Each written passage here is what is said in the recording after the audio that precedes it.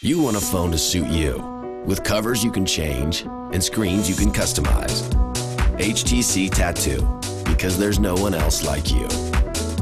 You don't need to get a phone, you need a phone that gets you.